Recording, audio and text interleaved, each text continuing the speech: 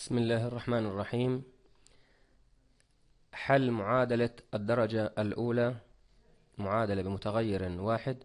أول شيء المعادلة هي تعبير جبري يتساوى في مقدارين. تحتوي على إشارة المساواة في يمين إشارة المساواة يكون مجموعة من الحدود أو حد واحد. في يسارها يكون مجموعة من الحدود أو يكون حد واحد. تساوي هذين المقدارين نعبر عنه رياضيا بمعادلة. فأي تعبير جبري يحتوي على مساواة وفيه تساوي لمقدارين نسميه معادلة. المعادلة أو معادلة الخط المستقيم هي تسمى معادلة خطية لأنه بيانها يعني رسمها في المستوى XY المستوى الديكارتي يكون خطا مستقيما. فلذلك تسمى معادلة خطية. إذا تعريف المعادلة معروف هي تساوي مقدارين جبريين. بالنسبة لطريقة حل المعادلة قبل ما بدنا نحل المعادلة ما هو شكلها؟ نأخذ الصيغة أو اللي هي الصيغة العامة أو standard form للمعادلة من الدرجة الأولى بمتغير واحد. تكون على هذا الشكل المعادلة الخطية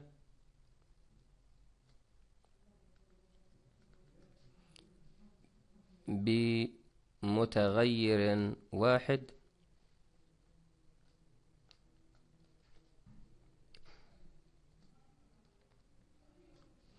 الصيغة العامة للمعادلة الخطية متغير واحد هي على هذا الشكل. عندنا بتكون a x زائد c يساوي صفر. هذه المعادلة a x زائد c تساوي صفر. عندنا ال a وال c تكون ال A وال C أعداد حقيقية يعني ثوابت. ممكن تكون أربعة ممكن خمسة ممكن نص ممكن ثلث ممكن ثلاث أرباع ممكن جذر اثنين. أي أعداد حقيقية ممكن تكون صفر. هذا بالنسبة لل A وال C. طبعا ال A مش لازم تساوي صفر. لو سوت A صفر بصيرش عندنا معادلة خطية من الدرجة الأولى. بتصير عندنا آه اللي هي معادلة من الدرجة الصفرية وبكون البيان تبعها خط موازي لمحور السينات. لما يكون مثلا صاد تساوي صفر اللي هي واي تساوي صفر خط موازي محور السينات. إحنا الآن هذا مش موضوعنا. خلينا نشوف بالنسبة ل ax زائد c تساوي صفر كيف يمكن حل هذه المعادلة. معنى حل المعادلة يعني ما هي قيمة x التي لو وضعناها أي عدد حقيقي أضعه مكان x بحيث تصبح هذه الطرف الأيمن يساوي الطرف الأيسر. يعني الطرف الأيسر يساوي صفر كما هو الأيمن يساوي صفر. في عملية حل هذه المعادلة خطوتين. الخطوة الأولى التخلص من C. والخطوة الثانية هو التخلص من A. التخلص من C بما أنها مجموعة جامع عن طريق إيش يسمى النظير الجمعي additive inverse اللي هو نظيرها الجمعي وهو ناقص C. نضيف نضيفه للطرفين تختفي C من جهة اليسار وبتطلع عندنا ناقص C في جهة اليمين. أما بالنسبة للA حتى أحولها لواحد لازم أضربها في المقلوب تبعها اللي بنسميه reciprocal اللي هو المعكوس الضربي multiplicative inverse نضربها في ال A وهو مقلوبها يعني واحد على A نضرب الطرفين وبالتالي بتكون حلت المعادلة. يعني مثلا أول خطوة بدنا نقول A X لما بدي أضيف minus C على هذه الجهة و minus C على الجهة الثانية ال minus C وال C بيلتغن فشو بصير عندي؟ بظل minus C plus 0 تساوي minus C. يعني AX تساوي اللي هو minus C. هاي الخطوة الأولى تخلصت من ال C. إحنا ممكن نفهمها بطريقة أبسط وأسهل لأنه إحنا مش بندرسها يعني بشكل تحليلي ونظري وإنما ناحية عملية بنأخذ هذه المعادلات. فإحنا بدون ما نقول إنه نظير جمعي ولا نظير ضربي ولا ما يحزنون بأبسط الطرق ممكن نقول إنه بأنقل الثابت من جهة اليسار إلى جهة اليمين فلما أنقله بغير إشارته. هذه أبسط طريقة للفهم. طريقة صح طريقة غلط إحنا اللي بهمنا إيش؟ تطبيق عملي الشيء اللي سهلنا. أين؟ لكن من ناحية رياضية هذه الخطوة لها تبرير علمي يسمى اللي هو إضافة المعكوس الجمعي لأنه من خصائص المعادلات. إذا أضفنا للطرفين نفس المقدار تبقى المعادلة صحيحة. وإذا ضربنا الطرفين بنفس المقدار بشرط ما يكونش صفر حتى في الصفر ضلها صحيحة بس بتلتغي المعادلة كل شيء بروح ما بعرفش يحلها. لكن في الضرب إذا ضربنا في أي مقدار غير صفري تبقى المعادلة صحيحة. طبعا أضرب الطرفين. فإحنا الآن بدنا نجمع اللي هو علشان نتخلص من سي بختار إني أختار أجمع مجموعها اللي هو معكوسها الجمعي حتى تلتغي. وبالنسبة للاي أضرب في إيش؟ في مقلوبها علشان تصير واحد. بنعود وبنركز حتى نبسط فهم الأمور. إنه وكأني نقلت السي من جهة اليسار إلى جهة اليمين فأصبح أصبحت سالبة. أما الآن التخلص من إيه فهو نقسم الطرفين على إيه كأني بضرب يعني في إيش؟ في مقلوب الإيه اللي هو واحد على إيه فبصير عندنا آخر شيء بصير عندنا هنا اللي هو x تساوي ال minus C على اللي هو A وهيك بتكون حلت المعادلة. يعني لو كنا إحنا بدينا في المعادلة هذه مثلا مثلا لو كنا بدأنا باللي هو آه، مثلا أربعة إكس زائد مثلا عشرين يساوي صفر. لو طبقنا آخر شيء هنا طلع عنا إكس شو تساوي؟ تساوي ناقص عشرين على أربعة. واللي هي شو تساوي؟ تساوي ناقص خمسة. إحنا ما بدنا نحفظ هذه الأمور بدنا كل مسألة نتعامل معها على حدة حتى تكون العملية بالنسبة لنا سهلة لأنه بدناش نقعد نحفظ القواعد ولا نغلب حالنا. هذا بالنسبة للي هو المعادلة الخطية بشكل عام. خلينا نأخذ مثال الآن من أسئلة الكتاب ونحاول إن نحله. هاي اللي هو مثال مثال من تمارين الكتاب. في اللي هي صفحة ستة وستين.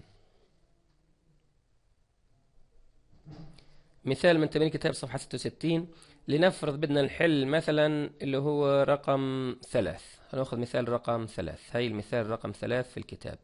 مثال رقم ثلاثة قلنا اللي هو أربعة إكس زائد اثنين تساوي صفر. الخطوة الأولى ننقل الاثنين على الجهة الثانية.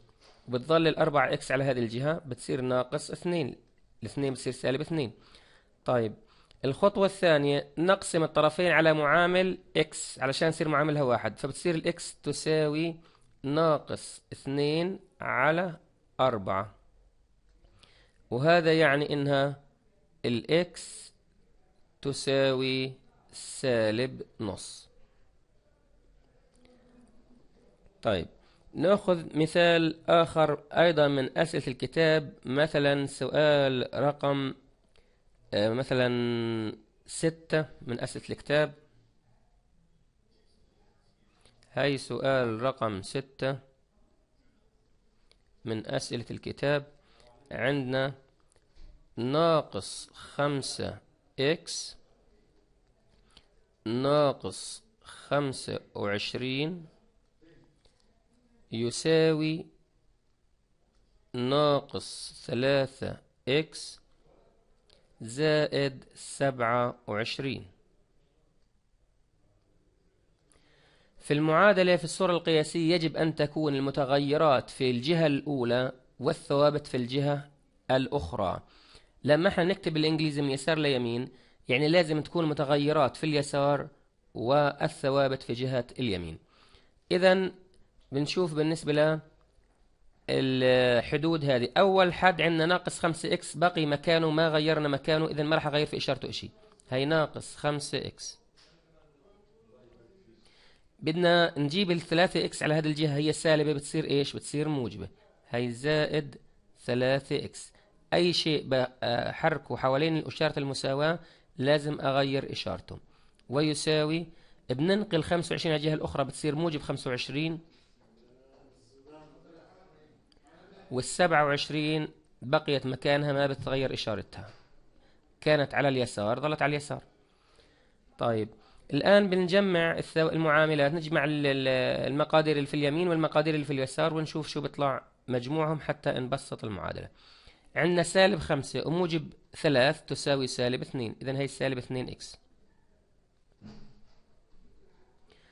والجهة الأخرى هي يساوي الجهة الأخرى خمسة وعشرين زائد سبعة وعشرين تساوي اثنين وخمسين هي اثنين وخمسين الخطوة الأخيرة اللي هي نقسم على معامل x فبتصير x تساوي الاثنين وخمسين مقسومة على السالب اثنين على سالب اثنين وبالتالي بتكون عندنا x تساوي كم؟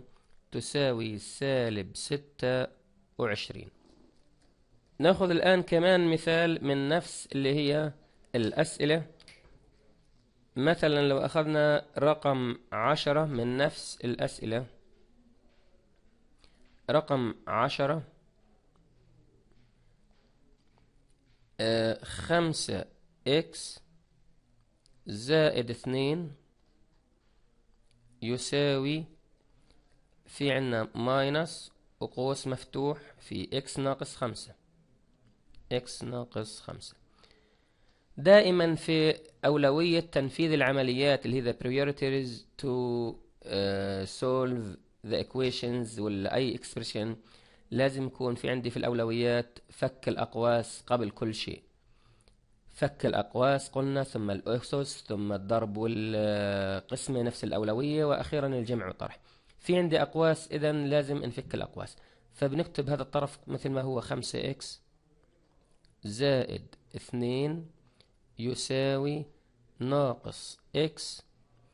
ناقص في واحد يعني كأنه ناقص واحد في إكس ناقص إكس وناقص في ناقص بصير موجب وهنا بصير عندنا plus five الخطوة الثانية بنيجي اللي هو المتغيرات. الإكس في جهة والثوابت جهة فهنكتب خمسة إكس زائد إكس لأنه الناقص إكس حركناها في الجهة الأخرى من اليساوي وهي اليساوي والاثنين بتصير minus 2 لأنه نقلناها على الجهة الأخرى. الخمسة تبقى كما هي لأنه ما غيرنا موقعها بتبقى إشارتها كما هي. الآن عندنا الخمسة إكس مع الإكس بصير ستة إكس. ويساوي الناقص اثنين والموجب خمسة تساوي موجب ثلاث. لأنه قلنا عندما نجمع عددين مختلفين في الإشارة نأخذ الفرق بينهما ونعطيه إشارة الكبير. وهذا يعني هذا يعني إنها الإكس تساوي ثلاث على ستة. ثلاثة على ستة تقول نقسم طرفين على معامل إكس يعني إنها إكس تساوي نص. هذا بالنسبة له اللي هو حل المعادلة الخطية بمتغير واحد. نحل مثال أخير على هذا النوع عملية سهلة وبسيطة. لو جينا الآن وحلينا مثلا سؤال رقم سبعة كان من الأشياء اللي في الكتاب هي رقم سبعة. نعاود نرجع له. اثنين إكس زائد واحد يساوي ثلاثة إكس ناقص ستة. المتغيرات على الجهة اليسرى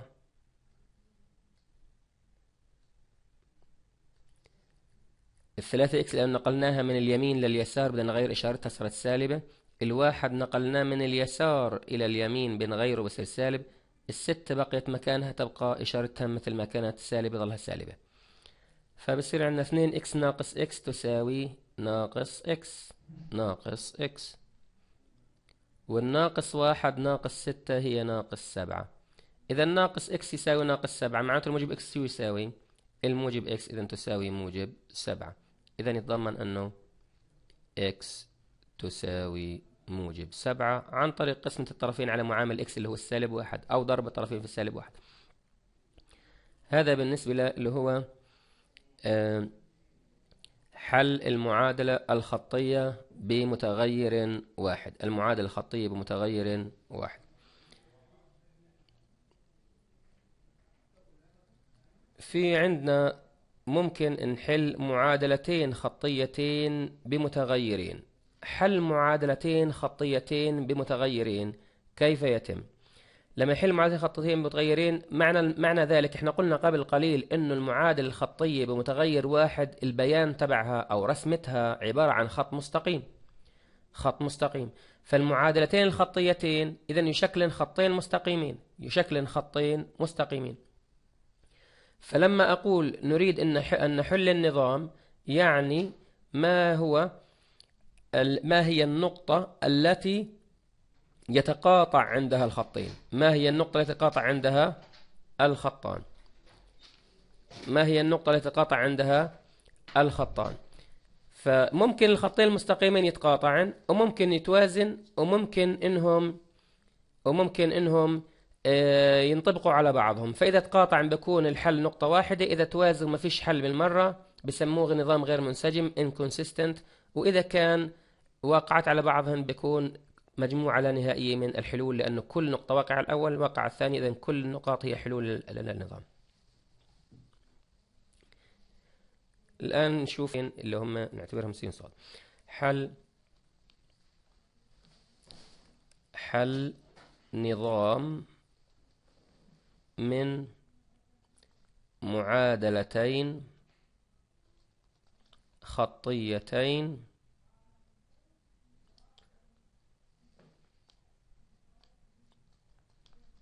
بمتغيرين.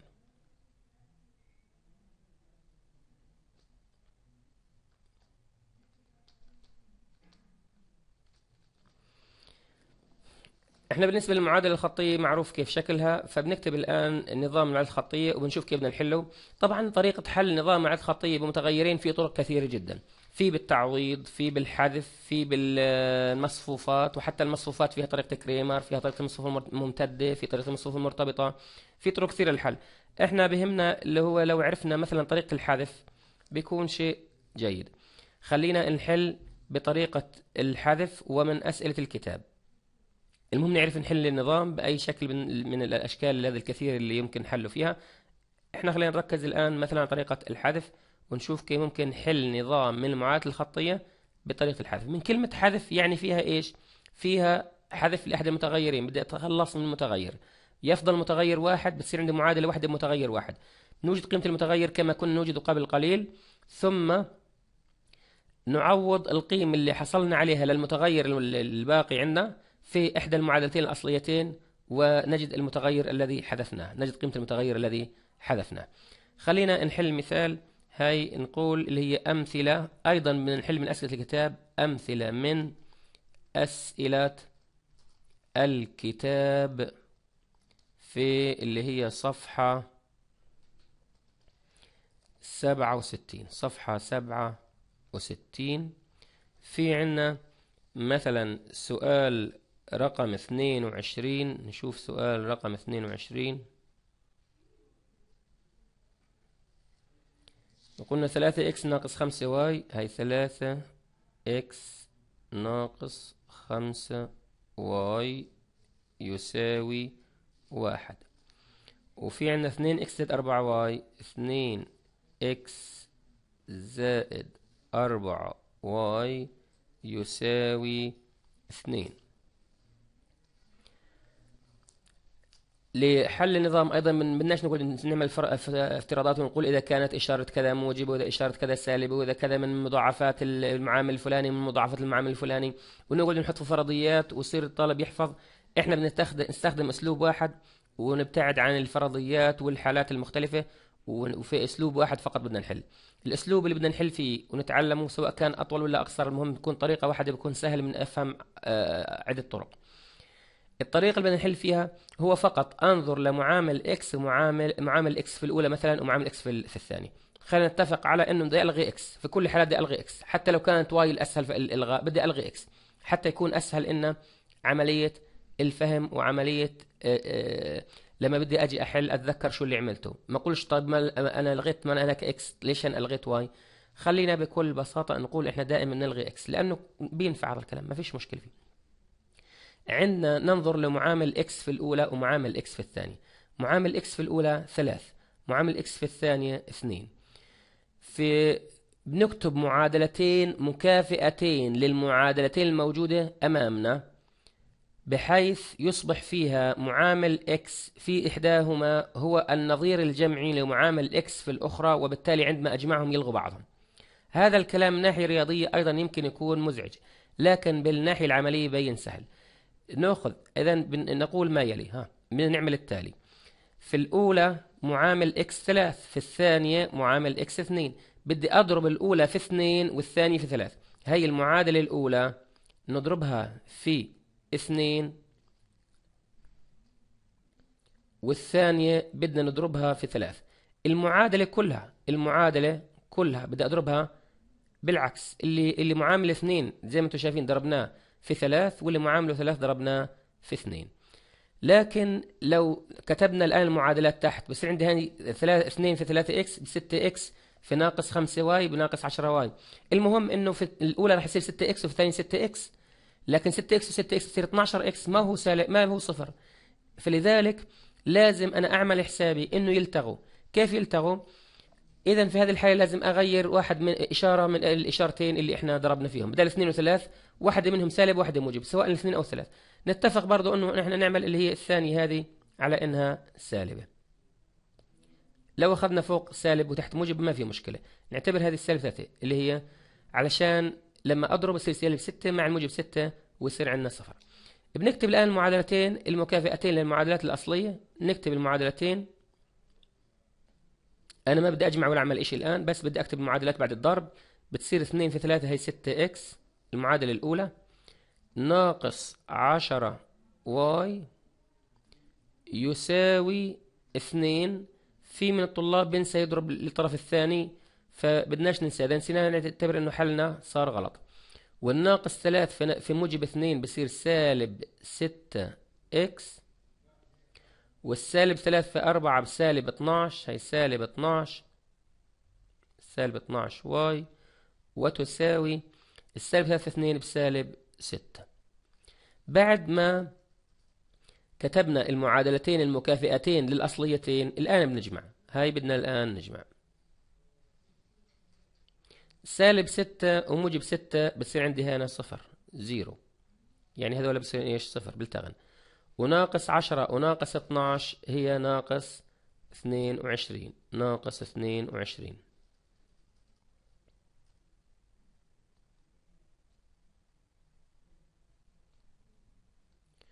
واثنين وسالب ستة هي سالب أربعة سالب أربعة.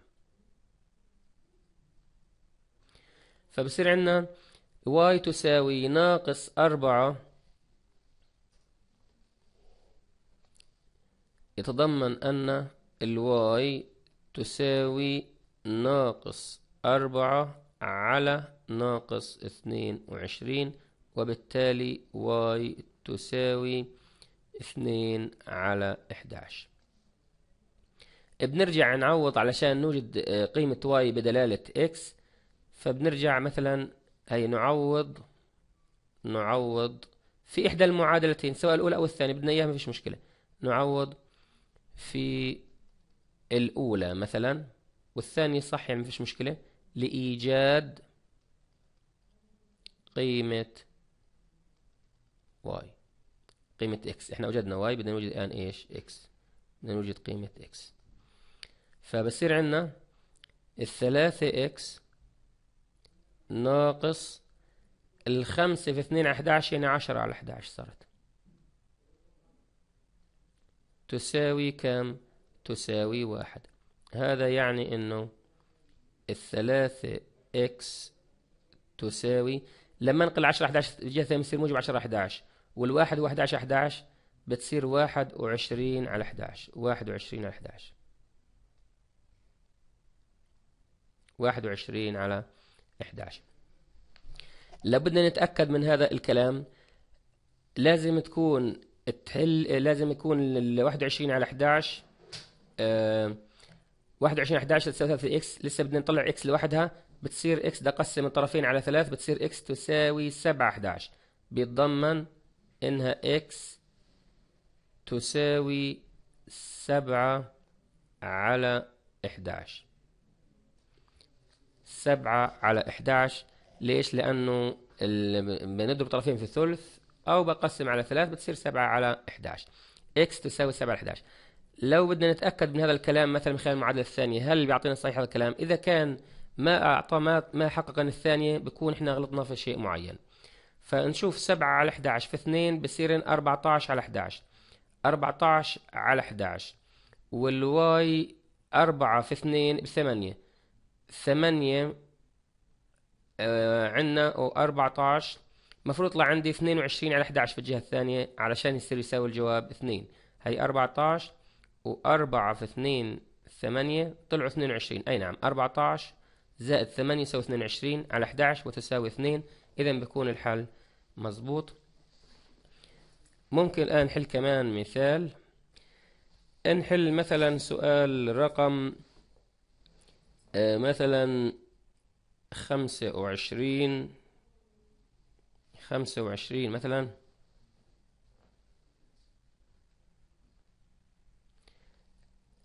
بقولنا x زائد اثنين y يساوي ناقص يساوي موجب أربعة موجب أربعة مش سالب أربعة.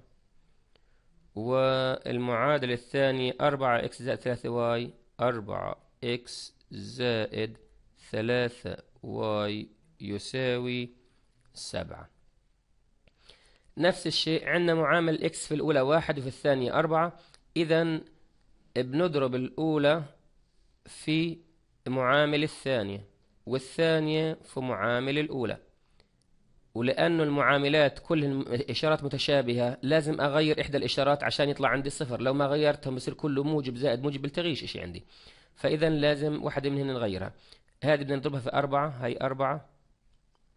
وهذه اللي بدنا نضربها في واحد بدنا نعملها سالب واحد علشان نضمن إنه يطلع عندي واحدة موجب وواحدة سالبة وبالتالي أستطيع إني ألغي الإكس يتضمن أن بدي أكتب معادلتين اللي هن بعد الضرب. بصير عندنا أربعة x زائد ثمانية y يساوي ستاش والثانية اللي هي ناقص أربعة x ناقص ثلاثة y يساوي ناقص سبعة. والآن بدنا نجمع. هاي بنقول هنا إيش؟ نجمع. الناقص 4 x والموجب 4 x بتصير كام؟ بتصير عندنا صفر لأن أصلا الهدف إحنا بدنا نلغيهن. هي صار صفر. لو ما صاروش صفر لازم أنا أرجع أعيد حساباتي عشان أقدر ألغيهم. لأنه أنا قلت بدي ألغيهم من البداية. والثمانية y والسالب ثلاثة y بصيروا موجب خمسة y. والستاش موجبات وسبعة سالبات بصير عندنا تسعة موجبات بصير تسعة موجبات. فبالتالي بتصير عندنا اللي هي الواي تساوي تسعة على خمسة. ونعود لإحدى المعادلتين لإيجاد قيمة لإيجاد قيمة المتغير الآخر اللي هو x يعني اللي هو اللي حذفناه. نعوض نعوض في الأولى مثلا أو في الثانية مثل ما بدنا ما فيش مشكلة. خلينا نقول في الأولى. لإيجاد اللي لغيناه اللي هو إيش؟ x فبصير عندنا هاي ال x زائد اثنين y. اثنين y يعني ثمنتاش على خمسة بصيروا. لأنه كل y تسع أخماس. اثنين في تسع أخماس بصير ثمنتاش على خمسة. يساوي كم؟ يساوي أربعة. معنى هذا الكلام إنها ال x شو تساوي؟ تساوي أربعة ناقص ثمنتاش على خمسة. الأربعة كم خمس؟ الأربعة عشرين خمس. أربعة في خمسة بعشرين عشرين خمس. عشرين خمس ناقص ثمنتاش على خمسة يبقى خمسين. إذا ال x تساوي خمسين. ال x تساوي خمسين. لو بدنا نشوف في المعادلة الثانية نعوض بسرعة نشوف هل إنه ال y تسع أخماس وال x خمسين تحققها ولا لا. إذا حققتها بنكون حالينا صح. إذا ما حققتها بيكون غلطنا في شيء معين يا في ضرب يا في جمع يا في أي شيء. فنرجع لو قلنا في المعادلة مثلا الثانية اللي هي أربعة. طبعا مش تعوض في الأولى؟ لأنه إحنا طلعناها من الأولى. لو عوض في الأولى أكيد أكيد راح تحققها. فبدي أعوض أنا في الثانية. لأنه إحنا طالعينها من الأولى أصلا. فبدي أعوض في الثانية. هي المشكلة إنه في الثانية هل تحقق ولا لا تحققها. ففي الثانية الأربعة x بصير ثمان أخماس. ثمان أخماس. والثلاثة y الثلاثة y سبعة وعشرين خمس. ثمن أخماس وسبعة وعشرين خمس يساوي خمسة وثلاثين خمس. ال 35 خمس تساوي 7 أي نعم 35 تقسيم 5 تساوي 7 كلام صحيح. إذا بيكون هيك الحال صحيح. نحل مثال أخير على هذا النوع اللي هو حل آه، معادلة ب أو معادلتين بمجهولين. معادلتين بمجهولين. خلينا نأخذ مثال رقم اللي هو آه، مثلا ثلاثين ونشوف.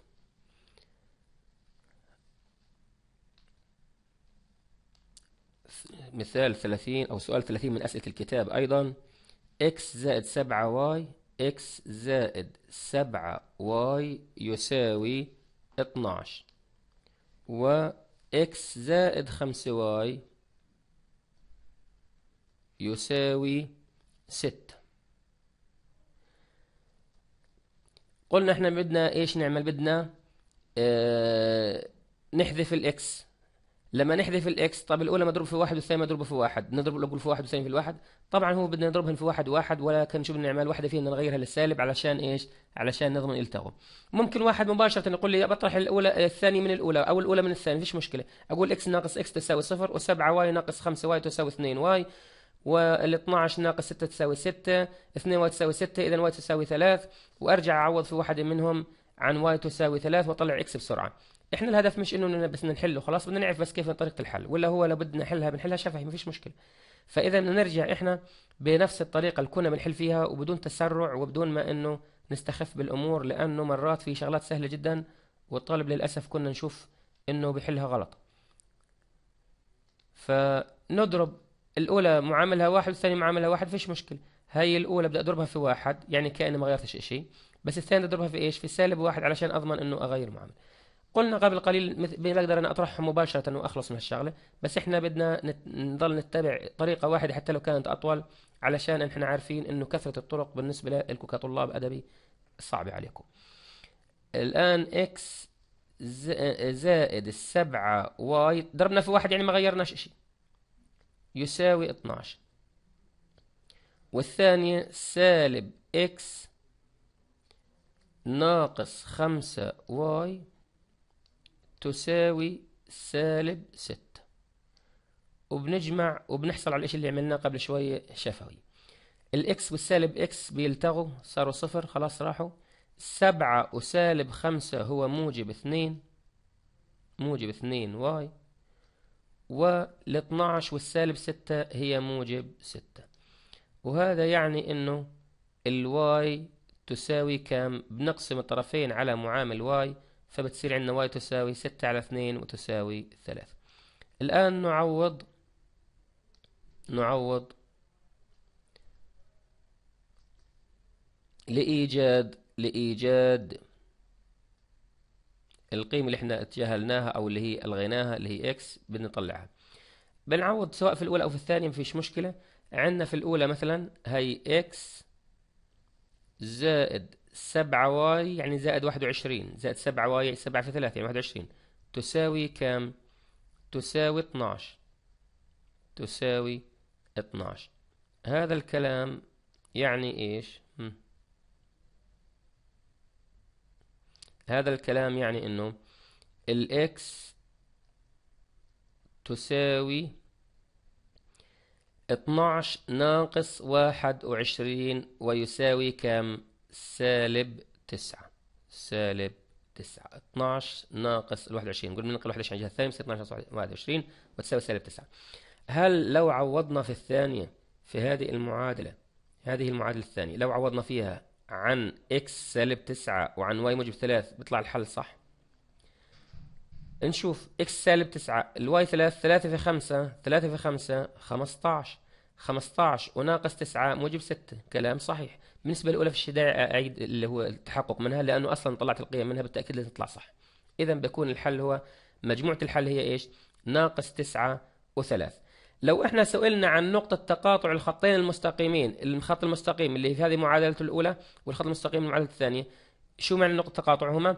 يعني بيتقاطعوا في النقطة x y، شي نقطة x y؟ هي ناقص تسعة وثلاث، يعني بيتقاطعوا الخطين هذول وين؟ في النقطة سالب تسعة وثلاث، إذا سئلنا عن نقطة تقاطع الخطين المستقيمين بنقول يتقاطعوا عند الناقص تسعة وعند الثلاث لأن دائما الإحداث الأولى للسين والإحداث الثاني دائما للصاد هذه نقطة تقاطع مستقيمين. إذا سئلنا فقط عن x y بنطلعها زي ما طلعناهم في الأول. آه، كذلك بالنسبة مثلا للسؤال اللي قبله اللي هو كنا فيه 25 إذا كان سئلنا عن نقطة تقاطع الخطين المستقيمين اللي خط الممثل هذه المعادلة والخط اللي هو هذه المعادلة بتكون نقطة تقاطعهم x y هي مثل ما طلعناها خمسين وتسع أخماس. هاي الخمسين قيمة x. دائما الإحداث السيني قبل الصادي خمسين وتسع أخماس بتكون نقطة تقاطعهما. هذا بالنسبة اللي هو حل نظام المعادلات الخطية. ويعطيكم العافية.